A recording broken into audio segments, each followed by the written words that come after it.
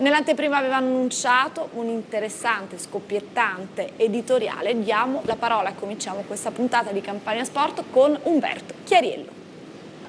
Buonasera, anche se definirla tale per i tifosi napoletani è veramente impossibile. Tre partite di campionato, due sconfitte e una vittoria all'ultimo minuto. Peggio di così non si poteva cominciare. Prendo a prestito un, come titolo della serata le parole di un decano dei giornalisti napoletani, Vittorio Raio, stramaccioni contro strafalcioni. Questo per far capire subito come la pensiamo sul turnover scellerato che ancora una volta Benitez ha fatto, peggio del, peggio del peggior Mazzarri. Aveva evitato giovedì contro lo Sparta Praga di stravolgere la squadra in una partita che doveva risvegliare gli azzurri dopo la sconfitta interna col Chievo all'esordio casalingo in campionato. Il Napoli era andato sotto, aveva subito il gioco della modesta squadra avversaria, poi però con i suoi fuoriclasse, perché tale è Gonzalo Higuain e certamente un giocatore importante è Dries Mertens, il Napoli aveva ribaltato e vinto la partita per 3-1 prendendo quello che io poi su Twitter ho definito un piccolo brodino perché non poteva essere certamente una medicina che guarisse il malato. L'antibiotico vero era Udine oggi, perché se il Napoli fosse uscito dallo stadio Friuli dove non vince dall'esordio dell'era De Laurentiis in Serie A, l'anno dell'esplosione di Ezechiel Lavezzi, il Pocio, quando il Napoli persa la prima in casa all'esordio in Serie A da matricola nell'era De Laurentiis contro il Cagliari, degli esordienti Amsic, Gargano, Gargano c'era già allora, e eh, appunto Pocio Lavezzi, andò in quel, del, in quel di Udine ed esplose eh, in tutta la sua bellezza con 5 gol a 0. Da allora il Napoli o le ha prese o è uscito per il rotto della cuffia indenne dallo stadio Friuli.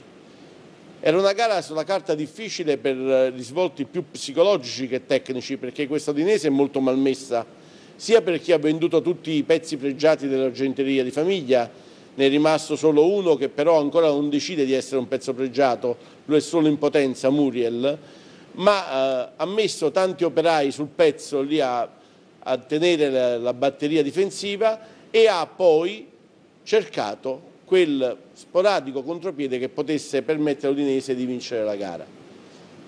C'è una cosa che al Napoli però proprio non va giù, sono le palle inattive. Il Napoli becca puntualmente gol, su palle inattive anche le più sciocche.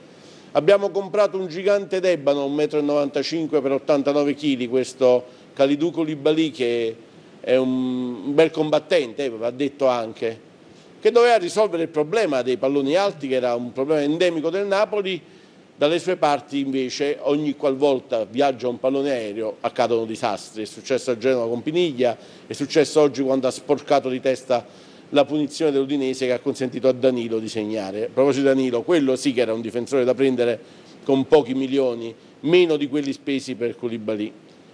E il Napoli si è trovato, grazie anche a questo turnover veramente scellerato, con un Mertens lasciato incredibilmente in panchina fino al gol del vantaggio udinese, un Mertens che forte della doppietta aveva il morale alle stelle e che quindi doveva giocare sicuramente oggi al Friuli e non solo lui, il Napoli ha subito gol e non ha rimontato come non ha rimontato mai in questa stagione.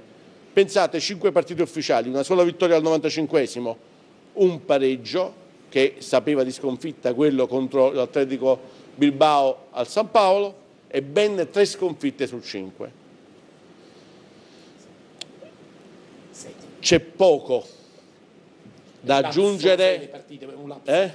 È un lapsus, sono sei le partite ufficiali del Napoli. Sono sei? Tre di Coppa, tre di campionato. Vabbè, sì, quella con lo Sparta Praga l'ho dimenticata, sì, anche eh, perché non è una partita memorabile. No, no, no, Vabbè, le vittorie sono no, due. Ma il concetto era chiarissimo. Quello che mi interessa aggiungere però per chiudere il discorso, perché poi voglio dire quello che penso, quello che voglio aggiungere è che Boban oggi ha chiesto a Benitez, dopo partita, ha sottolineato più che chiesto, la mancanza di cattiveria di questo Napoli.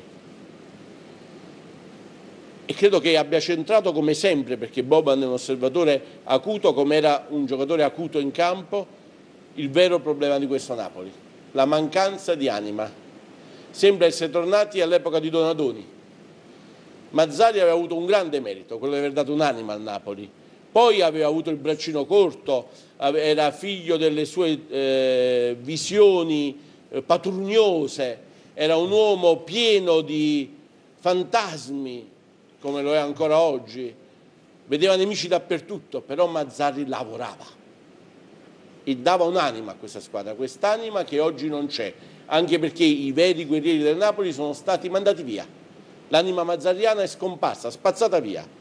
Oggi c'è un Napoli multinazione di giocatori che in campo non sudano la maglia come dovrebbero, con un allenatore che pensa a farsi le vacanze, a dare giorni di riposo, che dà l'impressione di voler essere cacciato.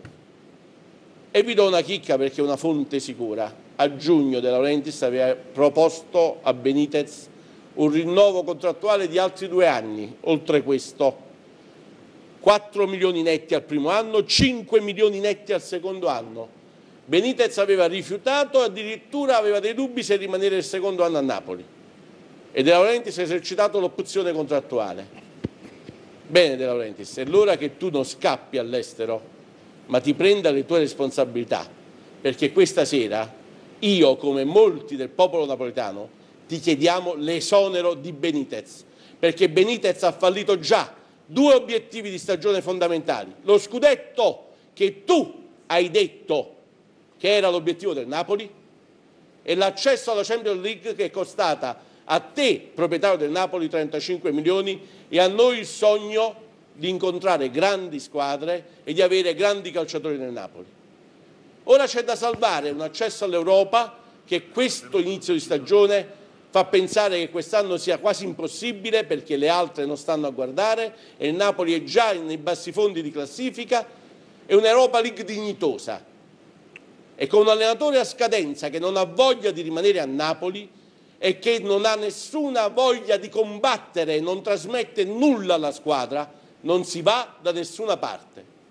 E per quanto tanti finti amici che io e molti abbiamo continuano a fare i paladini di Benitez, questa sera il re è nudo, deve andare a casa Benitez. Questo vuole il popolo azzurro perché non se ne può più di vedere in campo una squadra che non ha un'anima. Ho finito, grazie. Beh, penso che adesso ci sia tempo soltanto per la pubblicità, pronti sì. a scaldare i motori, anche i nostri eh, protagonisti di questa sera. Intanto, udite udite, molto nervosismo generato anche dalle scelte eh, in campo di questa sera di Benitez, Callejon e Amsic in particolar modo, che avrebbero detto al tecnico di sentirsi di poter tornare in campo anche questa sera. Dunque nervosi per eh, l'esclusione, torniamo a parlarne tra pochissimo, subito dopo la pausa pubblicitaria.